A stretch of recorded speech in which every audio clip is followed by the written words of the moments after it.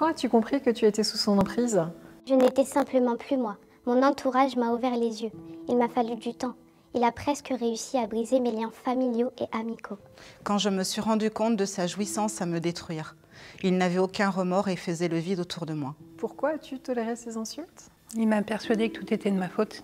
Il a réussi à me faire croire que je le méritais. Que s'est-il passé pour que tu acceptes cette situation? Je n'avais plus de force. J'étais seule, face au bonheur et à la destruction psychique. J'avais espoir que ça change, et nous avions un enfant. J'ai essayé de prendre sur moi pour ne pas briser notre famille. J'avais peur, j'avais honte. Et pour moi, tout était normal. Pourquoi as-tu retiré ta plainte? Il s'est excusé plusieurs fois.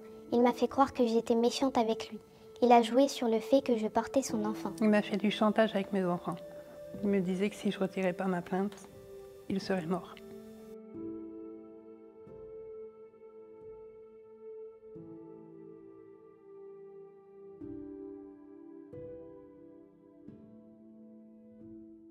Je t'aime.